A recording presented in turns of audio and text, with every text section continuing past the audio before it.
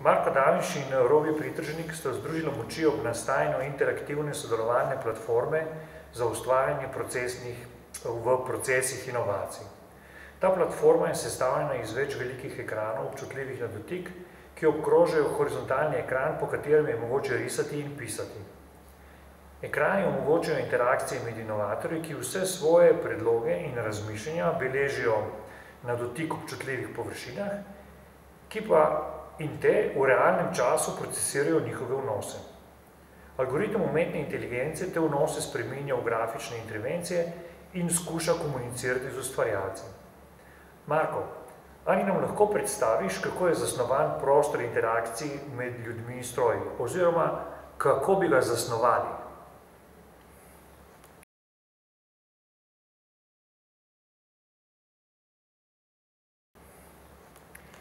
Torej, ideja je, da je neki prostor, ker so taki zelo veliki ekrani, občutljivi na dotik.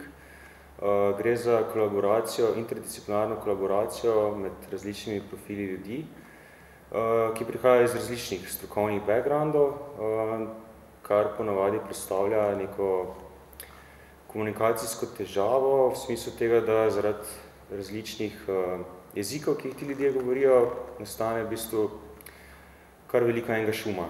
In to otežuje v bistvu procese pri sodelovanju ne vem, na področju inoviranja, na področju reševanja nekih problemov. In naša ideja je, da v bistvu AI vključimo oziroma da umetno inteligenco vključimo v, v ta proces z um, odgovornostjo izravnavanja tega procesa, izravnavanja teh komunikacijskih šumov. Um, torej, intervencije AI-ja niso nujno zgolj grafične, niso zgolj um, vizualne, intervencije so v bistvu na medosebnih uh, komunikacijskih odnosih, um, oziroma v te med, medosebne komunikacijske odnose. In to je tudi eden izmed največjih izzivov, po mojem, no, da v bistvu ugotovimo, katere specifične uh, odgovornosti prevzema računalnik na mesto te skupine ljudi. Ok. Um, Robi, ti si inženir računalništva, jaz sem povedal prav? Res je. Um, inženir računalništva in informacijskih tehnologij. K temu projektu te vadimo že kar nekaj časa. Um, ali nam lahko poveš, kakšne tehnološke izzive vidiš kot strokovnjak za algoritme? V bistvu pri samem oblikovanju tega projekta je predvsem poudarek oziroma čim več, bom rekel, effort, da bo treba vložiti na sami definiciji algoritma, ki bo delal na področju umetne inteligence. Um, soočal se bomo v bistvu s samim problemom pravilnega pristopa, um, z gradnjo, bom rekel, neke množice podatkov, ki, se bo, ki jih bo potrebno vključiti za to, da se bo algoritem uh, oziroma sam model umetne inteligence pravilno zmodeliral oziroma naučil do te mere, da bo zagotavljal vsem potrebam, ki bojo a, zasnovane v tem projektu in pa a, predvsem pravilno testiranje oziroma potem preverjanje, ali je sam model zagotovil tem potrebam, ki jih bomo imeli pri sami um, interakciji z uh, samo napravo. Ja, za nas, uh, uh, lay people, ne, je to precej black box. Ne. Uh, nam lahko malo razložiš uh, naravo teh algoritmov? Kaj pomeni supervised learning, unsupervised learning? Kaj pomeni, verjetno si že malo razmišljal, kjer je bil vzeli, pa če iz tega bazena tvojega razmišljanja malo poveš, kaj je kaj. Sam to, da bomo te, a veš, te ingredientje, da bomo si znali predstavljati. Ja, v bistvu to je klasičen problem a, razlage umetne inteligence, ker se doskrat začnemo pogovarjati o tem in vsi mislimo, da je to neka raketna znanost, a, pa v resnici ni. V bistvu gre čist za klasičen posnemanje samega procesa učenja čist na podoben način, kot pri človeku.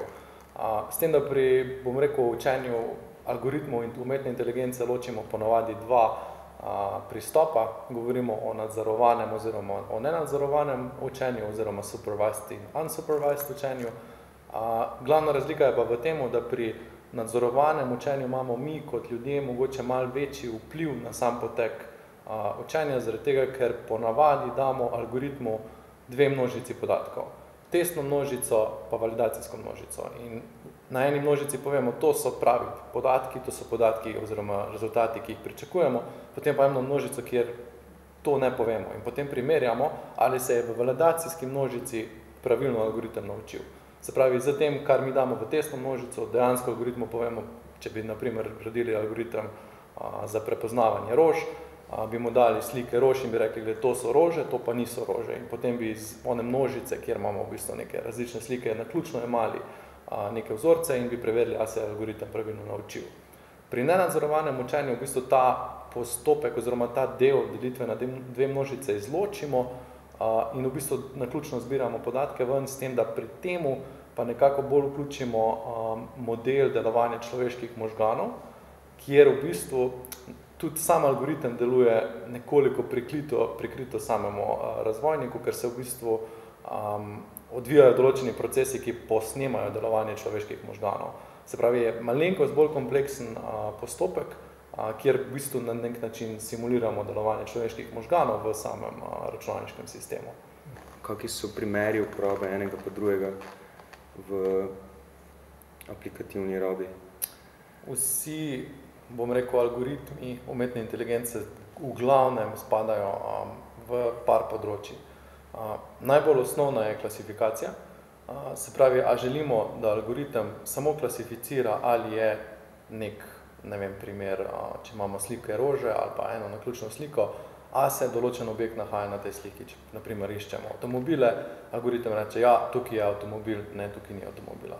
Um, oziroma to je že v bistvu bolj object detection, klasifikacija bi bila sam primer um, delitev, kam spada v avtomobile ali pa v kolesa, naprimer. Ne. Uh, potem imamo pa še mogoče malenkost bolj kompleksne algoritme, uh, kjer pa lahko govorimo naprimer o, bom rekel, ali prepoznavi uh, govora, naprimer, se pravi um, speech recognition, kjer pa dejansko moramo mi pretvarjati, um, bom rekel, signale zvoka v tekst in potem iz samega tega razbrati um, znakovno reprezentacijo govora, uh, ali pa celo v temu, da bom rekel, algoritem sam lahko daje odgovore iz nabora, naprimer primer Siri, oziroma vsi, bom rekel, inteligenčni uh, sogovorniki, Alexa, Siri, uh, Google Home, um, delujejo na tem principu, da najprej razpoznava govor, potem gre v stvar v neko sekundarno obdelavo, kjer se v bistvu razpozna um, koncept pogovora oziroma kaj uporabnik hotel doseči, pa šele potem AI na podlagi tega da primeren odgovor. Um, to so na primer eni taki primeri samega, samega v bistvu delovanja AI. -ja. Je pa potem še tudi, ne vem, um, bolj aplikativna ravn tega, naprimer to, kar dela tesna avtonomna vožnja, kjer je pa združenih več, bom rekel, inteligentnih sistemov v enega, ko se avto vozi, konstantno zaznava okolico okoli sebe, razpoznava znake, razpoznava pešce, razpoznava druge vozila, um, samo, cesto in pa tudi odločitve sprejema uh, na podlagi tega, kaj se trenutno z vozilom dogaja. Um, podobni koncepti so v letalstvu že kar nekaj časa, naprimer, ne, kjer imaš pač letalo, ki leti, ki v bistvu konstantno uravnava, uh, bom rekel, karakteristike uh, samega leta, naprimer. Ne.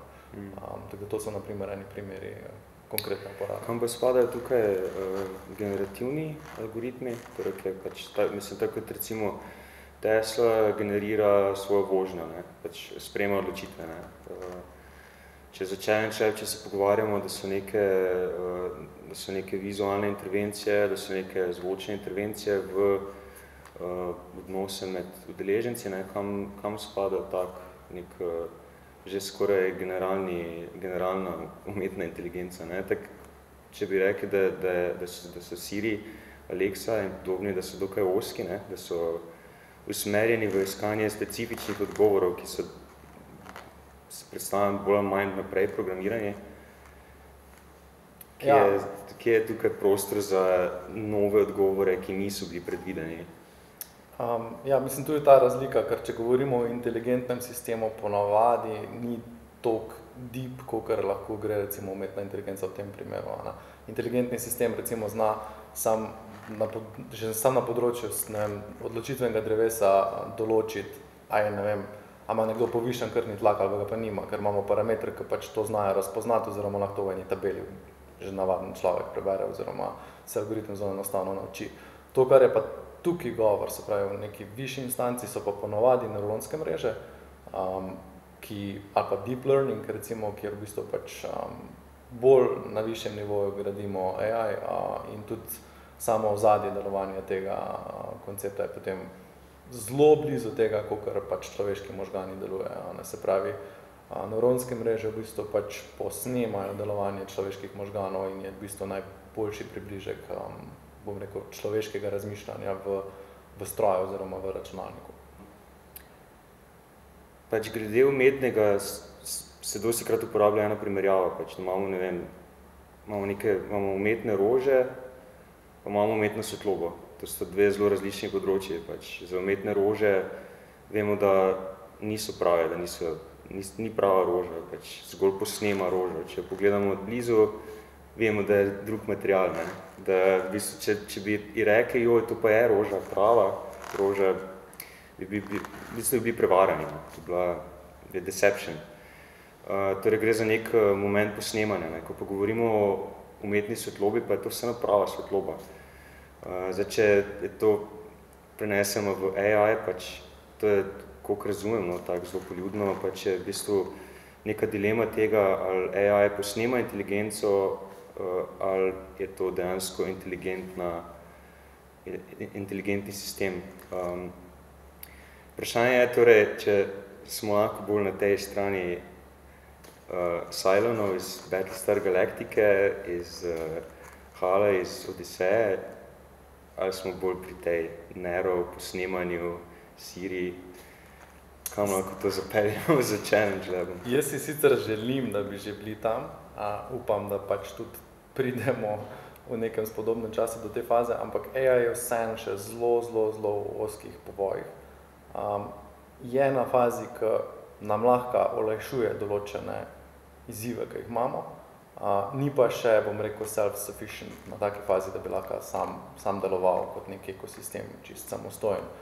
Um, obstaja v bistvu, um, v računalništvu rečemo, da je um, bom rekel, en algoritem, koliko je inteligenten, se ga da primerjati s Turingovim testu, Turing complete se temu reče, um, bi pa delovalo na tak način, če bi imel AI v eni sobi, pa človeka v drugi sobi in v eni pregradi nekega sogovornika, ki bi v bistvu spraševal, a bi dal en problem rešiti človeku, pa en problem računalniku, in ko bi dobil on nazaj odgovor, če se človek ne bi mogel odločiti, a je to rešil AI, ali človek bi potem bil ta algoritem Turing complete, oziroma bi se s tem dokazala inteligentnost uh, računalniškega sistema.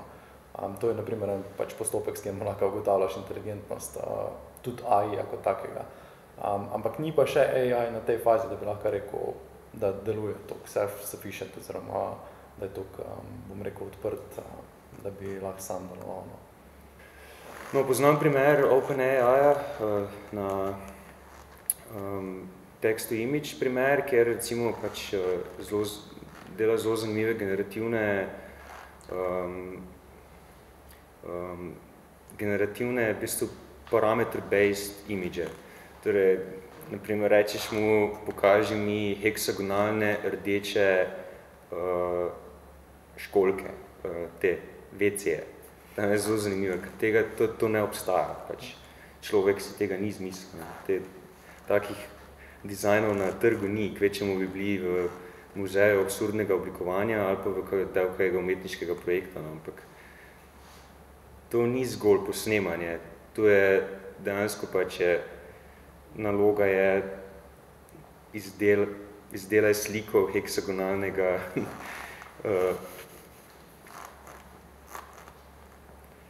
uh, kam spada to? Pač spada to že v avtonomno početje, avtonomno inteligentno početje, ali je to vseeno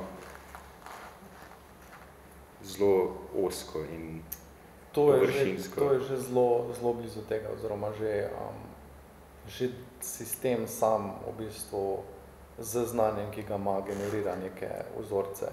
Uh, je pa res, da je pač človek tudi namensko um, ga na nek način omejil, um, ker pravilo gradnje AI-ja je, da AI ne sme nikoli škodovati samo sebi pa človeku, a, če pa že pa na način, da, da, da ne ustvari kakršne koli škode. Um, pa tudi primer poznam, ko, ko so, mislim, da v Google v laboratoriju um, lansirali en AI, so ga plasirali in je v bistvu sta bila dva, ki sta se pogovarjala.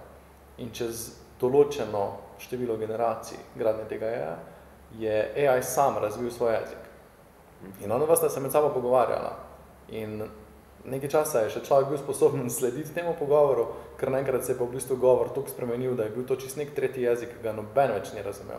In zdaj, kaj sta se ona dva pogovarjala? Je to zdaj pač varianta Terminator Conquer the World, ali je to v bistvu nek, ne vem, čist small talk bil? Um, te taki koncepti so zelo blizu tega, da v bistvu AI deluje samostojno, ima neko svobodo, ampak še, še vse mislim, da mi kot prevladujoča vrsta na zemlji uh, ga bomo še kar nekaj časa omejevali iz vidika varnosti in pa v bistvu tega, da ga pač mi nadzorujemo.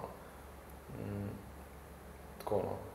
Ja, tega uh, zero event, ne, tega se kar vsi po vrsti bojijo, ne, ampak me je zanimivo to, da bi se skozi zgodovino, ne, pač od takrat od 58 naprej, ne, uh, so bile skozi neke meje, pač najprej, najprej je bila meja šah.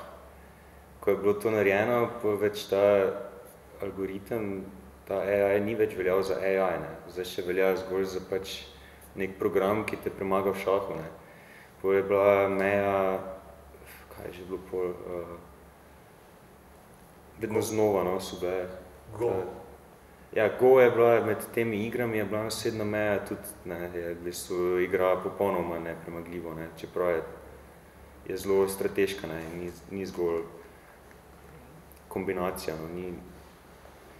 Um, zdaj, v zadnjem času, no, ko se, ko se pa je polje premaknilo tudi v, v igranje igrc, pa je v bistvu kar taka, no, Terminator scena, vse za eno vem, no, uh, v Minecraftu, ne, na public serverjih, so uh, se začel pojavljati, uh, Baritone se imenuje, v bistvu tak avtonom, kao avtonomni uh, Minecraft igralec, ki je v bistvu popolnoma spraznil serverje na ta način, da je v bistvu pač ubijal vse ljudi, igral dosti boljše kot oni. Ne, in tu se mi zdi, že zdi, da, da gre v smer pač neke te uh, um, kar črnega scenarija, no, ki smo ga vajeni znanstvene fantastike.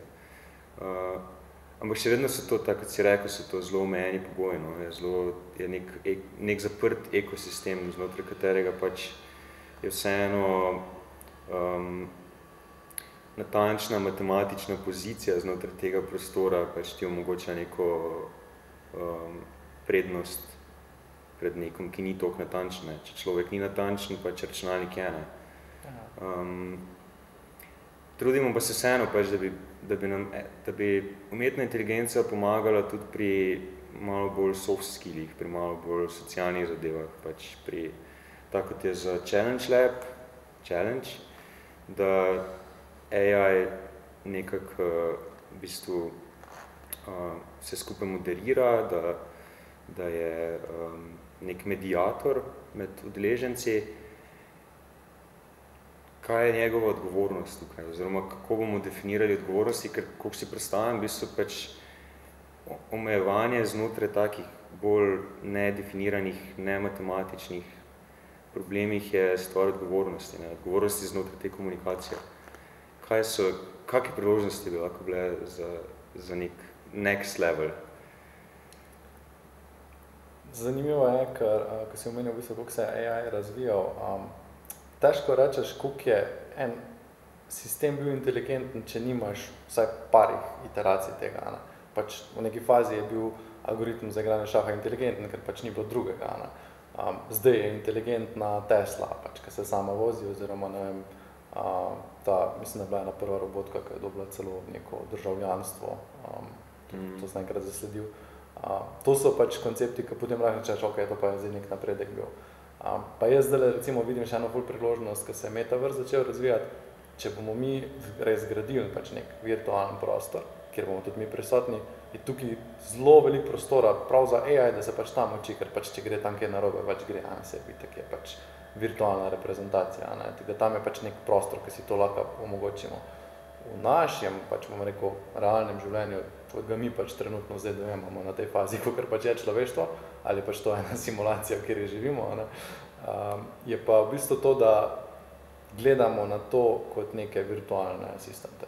Um, pa če si predstavljam, da v neki točki pač imam jaz nek device, wearable na sebi in pač rečem, gledaj, zabukiri mi uh, za jutr mizo za poslovni sestanek, uh, jedli bomo ne vem, to pa to in mi pač AI to naredi na mene.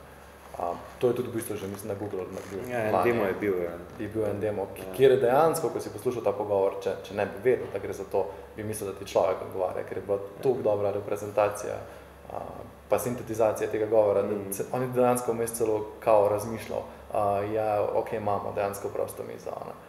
Um, tu jaz to vidim, ne, da, da nam v tej fazi bo vsaj kot neki virtualni asistenti in vsak bo imel nekega svojega virtualnega asistenta, ki mu bo a, na nek način pač pomagal v življenju. A, Zdaj, kak problem bo reševal točno, je čisto odvisno od a, same uporabe tega. Ja. Če se Če so črni scenariji zelo pogosto prisotni ne, v znanstveni fantastiki, uh, mi da so iste generacije, da smo z Cartoon Network odraščali, ne, uh, tam je bil Dexter Laboratory, ne.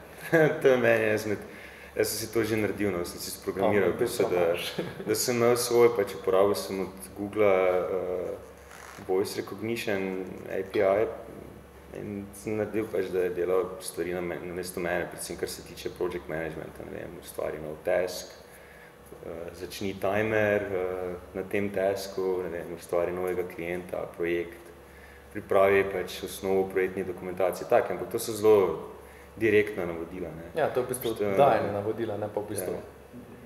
razmišljanje. Ali, ja.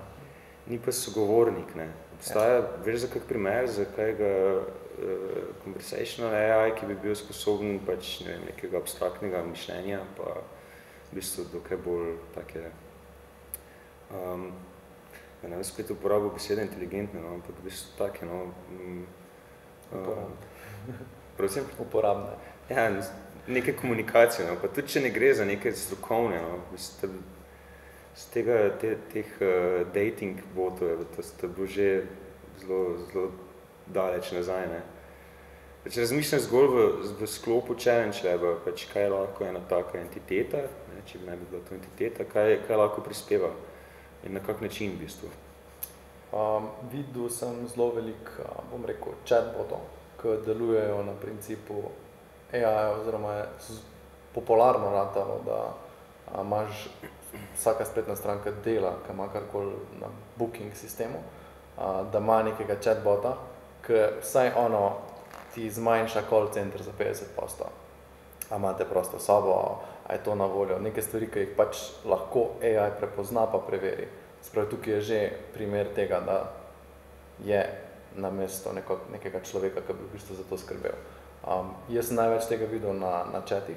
Um, nisem še toliko zasledil, da bi dejansko bil, um, bom rekel, sintetiziran govor zraven um, pa tudi lažje je, bom rekel, implementacija oziroma samega algoritma uh, na področju teksta, ko pa če dejansko gre za razpoznavo govora.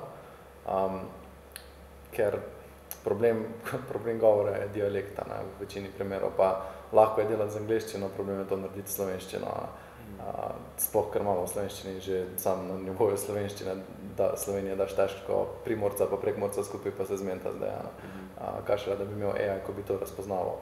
Um, ampak največ sem tega zasledil na, na nekih chat sistemih, ki ti olajšajo nek del poslovnega procesa ali ne vem, rezervacije hotelske sobe, pa polk ne ve več naprej te usmeri k agentu, pa v bistvu pol človek prevzame. No. Um, ampak prav, da bi pa bil sintetiziran govor nekoga pogovor, pa, pa še nisem zasledil. No. Um, Veš, ko se ti pojavijo reklame, uh, za stvari, o katerih si razmišljal v nekem obdobju. Pač to bi naj bili uh, avatari narejeni nas, pač na podlagi vseh interakcij z pač vsem tem um, marketinškim sistemom, ne, Google, Facebooka, vseh teh velikanov, bi naj pač bile uh, simulacije naših osebnosti. Pač ne vem, koliko je to resno, nisem v bistvu še nikoli iskati nobenega članka na to temo, takega bolj podkrepljenega ampak naj bi pač bile simulacije nas in te simulacije naj bile tako dobre, da znajo predvideti, katero reklamo v nekem obdobju tvojega življenja, v obdobju leta, v obdobju, ne, ti naj predlaga. Pač to, to je bilo, mislim, je zelo pogosto bilo, no, da ljudje rečejo, včeraj sem o tem razmišljal, danes dobim reklamo, torej mi prisluškujejo. Ne. Ampak eh, so kao pojasnili, da ne prisluškujejo, ampak da je v bistvu pač taka zelo dodelana simulacija naših, na podlagi naših interakcij. Ja, mislim, tukaj je Facebook še posebej pač um, dejaven oziroma zelo dober, deluje na področju marketinga, ker pač sam prostor advertisementa res dobro izkorišča. Uh, je pa res, da to, kar se je omenil, da če vem, omeniš dan z pranje stroje, boš pa jutri videl, ne vem, glas za pranje stroje na Facebooku. Um, je bilo veliko študij oziroma primerov, ko, ko se je dokazovalo, a je to zdaj prisluškovanje, vem, čez kamero, oziroma čez mikrofon naprave, ali je šlo za neke vzorce, ki si jih ti počel. A, vem za primer, ki je ena punca zvedla, da je noseča a, na Facebooku, ker je začela dobivati oglase za nosečniške teste. Um, primer. Um, je, pa, je pa resno, um, če, če bi stvar dali na, na primer Challenge Laba, uh, bi, bi bilo zanimivo narediti, oziroma AI sproducirati do te faze, da bi vnaprej predvidel, kaj, kaj, kaj, kaj en inovator hoče doseči ali pa ga mogoče izval na nek next level, um, ko ti začneš pisati, uh, da ti mogoče že zraven dopolnjuje. Um, ali pa, vem, odpreš post-it listek, pa, pa si kar skiciraš nekaj, uh, ti v bistvu že sam dopolnjuje, a, ok, to si mislil, šur, potrdi, ne. Um, pa ne vem, ti zraven ponudi opcijo, a, ok, to si mislil, lej, tole te bo še zraven zanimalo, hočeš to zraven dodati, ne. Um, da v bistvu pač AI res tukaj v tej fazi bi prišel do tega, da ne samo, da bi v bistvu delal na selektivnih pravilih ali pa na nekih vzorcih, ampak da bi v bistvu lahko se samostojno odločal a, pa razmišljal, kaj, na kak način bo reagiral v določeni situaciji. Um, je pa tukaj pač ogromno poznavanje človeške specifike pa, pa mindseta kot takega, ne, ker a, se mi zdi, da bi mogel v tej fazi različno potem reagirati, prijem, a sem jaz za samo napravo pa delam jaz ali pa nekdo drug. Ne? Ker, a bo to možno narediti sam iz pisave, ne? give me a signature, I'm gonna tell you who you are, ne? Mm. ali, bo, ali bo to šlo na nek drug nivo. Ne? Bi lahko v tem primeru tudi AI tekmoval z udeleženci tak, tega challenge laba, v smislu, da bi pač prišel do neke rešitve prej. Naprimer, vemo, kaj so prednosti računalnika v primerjavi s človekom. Če je človek počasen, če pa če lahko sicer razmišlja abstraktno, lahko razmišlja čustveno, računalnik zelo tehničen je, zelo hiter, zna iterirati, zna brati podatke, velike podatke, zna brati uh, mnogo podatkov, ne. To, pri tem je človek slab in počasen. Pač bi lahko, bi lahko pri, zaradi tega, ker ima te prednosti, mu pomagal ali pa ga mogoče celo tudi prehitel v nekih primerih? Ja, sigurno. Um, pri teskih, ki jih človek pač počas dela, pa so relativno enostavni, bo že navaden računalniški sistem, pač hitrejši, brez da govorimo o AI-ju. Um, jaz vidim prednost AI-ja na tem projektu samo v tem, oziroma predvsem v tem, uh, da bo deloval sodelovalno pa v bistvu v korist, bom rekel, nekega širšega ekosistema. Um, da, da ti že sugerira, da ti ponuja opcije, da ti mogoče da nek okay, step out of the box mindset, ne, mogoče razmišlja drugače, ali pa te izziva, ali pa ti kontrira um, na tak način. No. Um, ne v bistvu sam to, da pač, ok, imam teske, pa pač jih boš naredil na mest mene. Ne. To je spet potem tisto dajanje navodila. Ne um, bolj način komunikacije skozi nek uh, user interface in v zadnju je pač AI. Torej, recimo, če bi AI, oziroma ne, ta naš asistent, če bi poslušal pogovor med udeleženci in bi se začeli pogovarjati o um, neki specifični stvari, bi zato pa recimo, da ne bi vedeli čisto točne definicije neke besede, ali pa da ne bi vedeli nekega točnega podatka, bi se ta podatek, definicija, to bi se kar prikazalo, ne? Um, pač na monitorih bi se... Bi se vizualiziralo v tem primeru, oziroma bi se AI lahko samo odločeval, zdaj, kaj, kaj bo počel, ali bo šlo to za audio vizualizacijo, ali bo v bistvu pač skočil pogovor, pa ti rekel, hey, hold, hold your horses, let me just give you some tips. Mm. Um, ampak je pa res ena stvar, tukaj bo, tukaj bo šlo za konstantno učenje. On nikoli ne bo na točki, ko boš rekel, to je končni produkt, ampak vedno bo treba mu dajati inpute, da se bo naprej učil, da se bo izboljševal, da bo tudi kaj narobe naredil, uh, pa da bo zaveden do te faze, da bo lahko, da lahko rečeš, ok, sprejel odločitev zaradi tega, da lahko argumentira.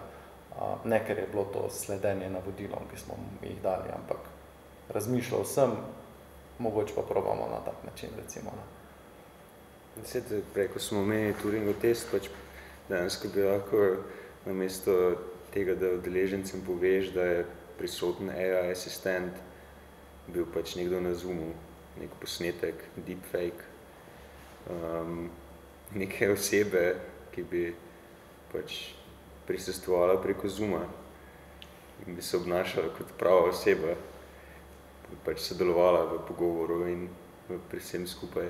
Ja, um, tudi za ta, da sem se ravno sponosen na mislim, da že lani enkrat, pa ravno tak čas, ko zdaj je okoli Božiča, sem zasledil en startup, ki je v bistvu bila spletna stran, ko si ti not napisal nek tekst, bom rekel pač nagovor, ne vem, božično goščinnico in si ga lahko nekomu poslal. Kaj je software naredil v zadju je, v bistvu AI, da je naredil video posnetek, ki je govoril v tvojem jeziku, jaz sem probal pač v slovenščini in je res delalo perfekt, Um, tekst si mu dal in on ti je govoril, eh, živijo, letos si bil v slovenščini. V slovenščini, ja. Uh, res dobro je delalo, spravo sem slovenščino, angliščino, pa mislim, da še nemščino in je res bilo pač 8 out of 10, no, tisto, tisto res dobro naredil. Uh, pa, ampak se ne spomnim točno, kjer produkt je bil. Um, Writer.io je pa en uh, AI copywriting tool, ki mu ti daš v bistvu samo nekaj par ključnih besed, pa mu rečeš, še zgeneriraj mi blog post na temo digital marketinga, hočem, da je prodaljivo in on ti naredi blog post, keyworde in je pač perfekt. Mislim, mi smo to za našo firmo uporabljali enkrat, ko smo rabili nek copyright v angliščini in je bilo 10 out of 10. Yeah. Um, ni pa bilo za slovenščino.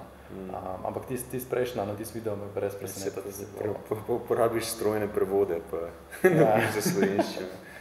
Ja, jaz sem tudi za eno razstavo delal pač tudi tekst na ta način, da je bil umetniški tekst napisan strani ERA, potem je Google prevedel pač in, je, in me kar nekaj ljudi vprašalo, kdo je to napisal, ker je ful dober tekst.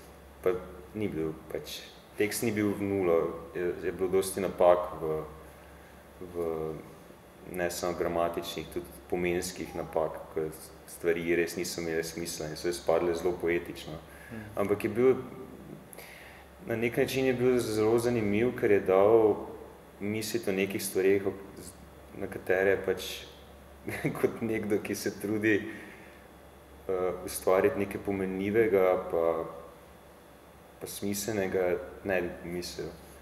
Pač te napake so bile ful zanimive. Ne. To, to, kar smo se pogovarjali, kar je že uh, moderator um, um, nabrgal, ne, da zvezi z glič umetnostjo, zvezi z, oziroma z uh, glič fenomenom.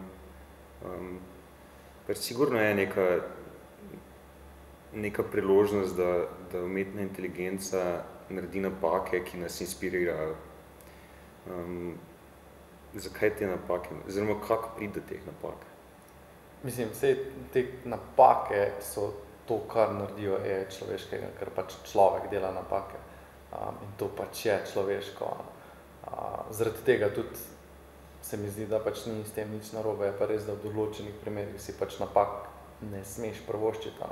Uh, ampak se če vrano obratno povedati, da kako poiskati te napake, kako jih imeti čim več tega, kar odstopa, pač, ker kar ravno prav odstopa od nekih vzorcev, ki so vhodni, ampak da ne gre predaleč v neko čist drugo smer. Tako ta primer na začetku, ko sem rekel, heksagonalni, mm. heksagonalnih stranišč, pač tam v bistvu zgenerira en kup, ne, pač zato, ker je računalnik dober v iteriranju, ne, zgenerira ful tega. Pač.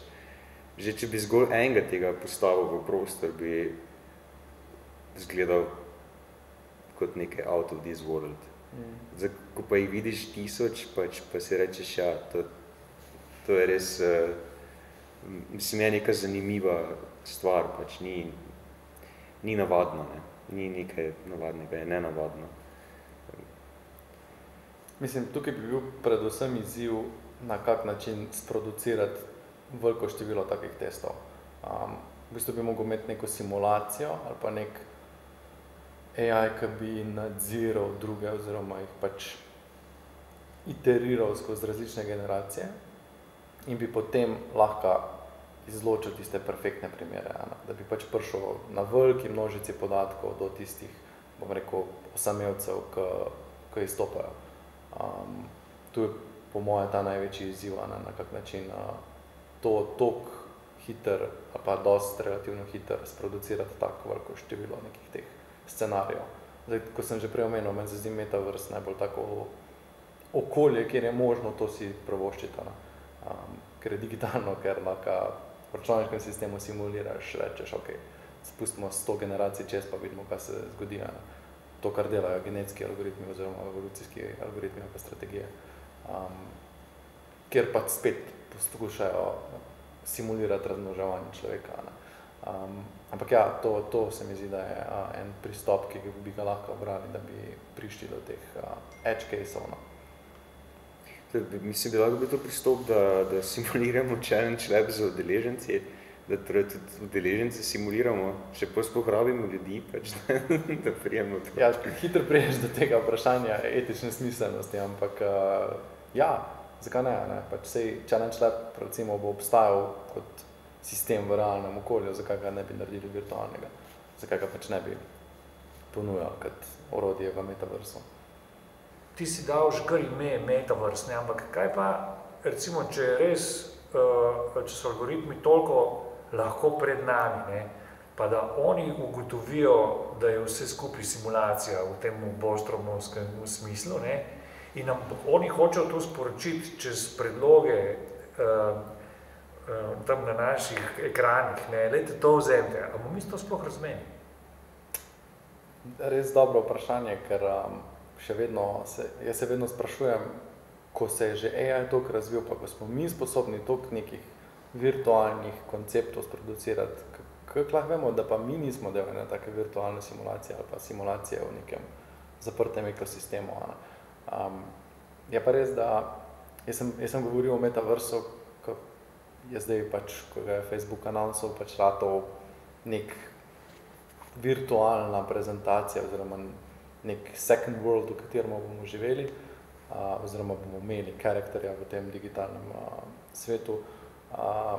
Čeprav, bom tako rekel, no, pač Metaverse je v bistvu samo uh, aplikacija obogatene pa virtualne resničnosti v nek, uh, neko nadpomenko. Ne? Tako, ker se je govorilo o blockchainu, pa se je potem začelo govoriti o NFT, ko je pač aplikacija blockchaina.